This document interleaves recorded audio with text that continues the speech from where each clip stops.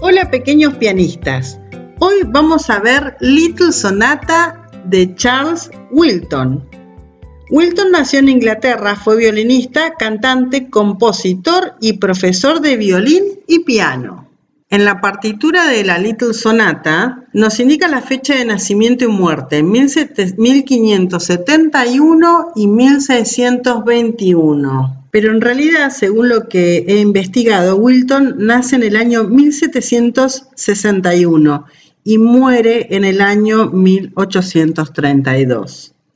Esta Little Sonata es la primera pieza musical en su libro de 18 sonatas para piano, donde la tapa dice Liverpool.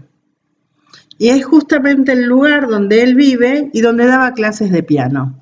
Y acá observamos que la primera sonata que aparece en su libro es la que después llamaron Little Sonata. Vamos a corregir entonces en la partitura el año de nacimiento y muerte y también vamos a corregir el movimiento que aquí dice moderato, negro igual a 132. Vamos a guiarnos con la copia del libro que pareciera más el original y le vamos a poner andante, tal como figura en esta partitura. Ok, realizadas las correcciones correspondientes a esta pequeña obra, vamos manos al piano y a estudiar la Little Sonata. Vamos a marcar de nuevo el Do central para que podamos ubicarnos. Comencemos con la mano derecha. La mano derecha se va a ubicar en el Do del tercer espacio, que es este una octava arriba del Do central. Posición de Do quiere decir que voy a poner mis dedos en Do, Re, Mi, Fa y Sol. Y justamente la partitura original tiene unos dos pequeños compases donde hace esa aclaración que empieza a usar estos dos, estos cinco dedos para la mano derecha. Bien, comenzamos. Cuatro tiempos, bien lento. Un, dos, tres, cuatro. Do, mi, re, fa, mi, sol, do, re, mi, fa, mi, re, mi, fa, sol, mi, do. Miren el final de este compás. Sol, mi, do. El acorde de do mayor. Bien. Vamos a ver ahora la mano izquierda. La mano izquierda para Little Sonata, estamos sacando central, una octava abajo. Comienza con este Do. Ubicamos el dedo 5, como dice la partitura, y recordemos que en la cuarta línea de la clave de Fa se ubica la nota Fa, que es esta y el Fa lo tenemos en el segundo compás. Comenzamos. 1, 2, 3, 4. 1, 2, 3, 4. 1, 2, Fa,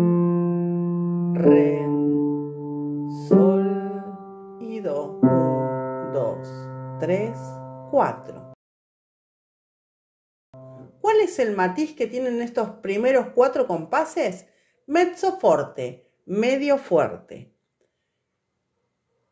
Vamos a juntar las dos manos.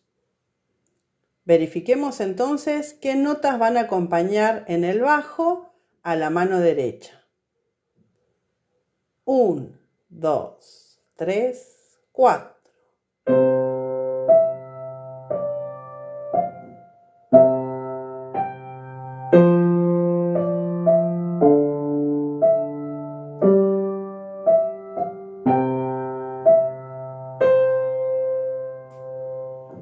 Tenemos los cuatro primeros compases para practicar. ¿Qué sucede cuando vamos al compás 5, 6, 7 y 8? Resulta que son exactamente iguales a los primeros cuatro compases. La única diferencia es que ahora es el matiz piano, suave. Vamos a comenzar desde el principio y vamos a tocar los ocho primeros compases de la Little Sonata. Un, dos, tres, cuatro.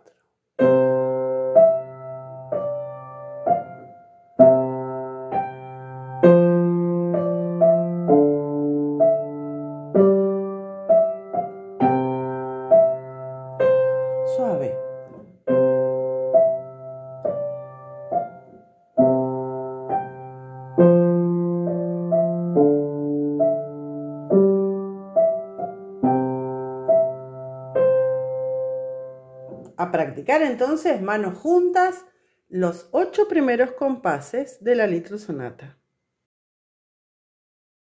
Vamos a hacer ahora los compases 9, 10, 11 y 12.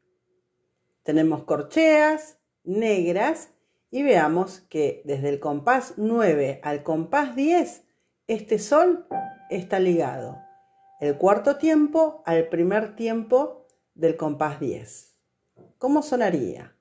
Un, dos, tres, cuatro. Uno, dos, tres, cuatro. Uno, dos, tres, cuatro. Uno, dos, tres, cuatro. Uno, dos, tres, cuatro. Mano izquierda. Compás 9 al 12. 1, 2, 3, 4. 1, 2, 3, 4, re, sol. 1, 2, 3, mi, re, sol. Practiquemos entonces manos separadas desde el compás 9 al compás 12. Juntamos las manos compás 9 al compás 12. También verificamos cuándo van a sonar juntas las manos derecha y mano izquierda. 1, 2, 3, 4.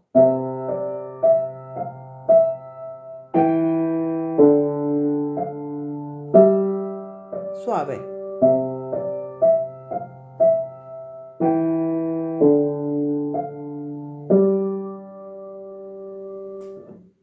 Practicar entonces, manos juntas, compás 9 al 12. Finalizamos la Little Sonata y tenemos los compases 13, 14, 15 y 16. Suave, dice. Y es el final y es lo mismo que hemos realizado en los dos primeros pentagramas. 1, 2, 3, 4.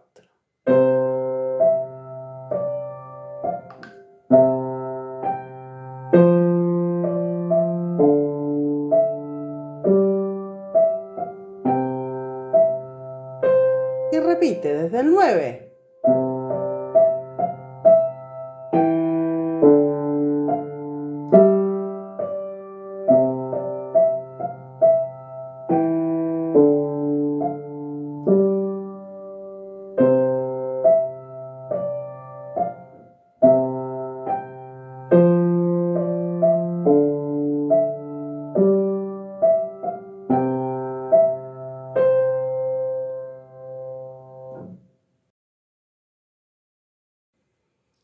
Vamos a hacer ahora una práctica con el metrónomo. Lo puse en negro igual a 60. Cuatro tiempos y vamos a comenzar.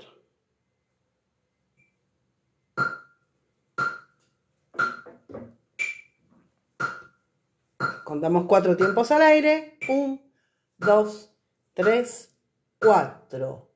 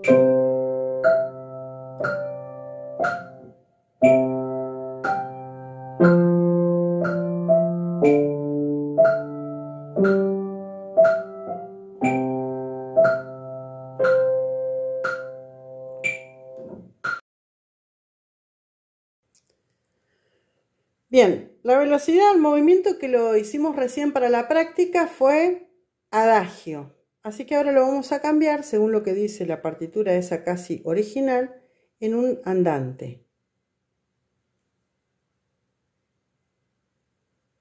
Nos marca andante 73. Si lo queremos hacer un poquitito más rapidito, 75 todavía, andantino ya ahí cambia. 77 andante.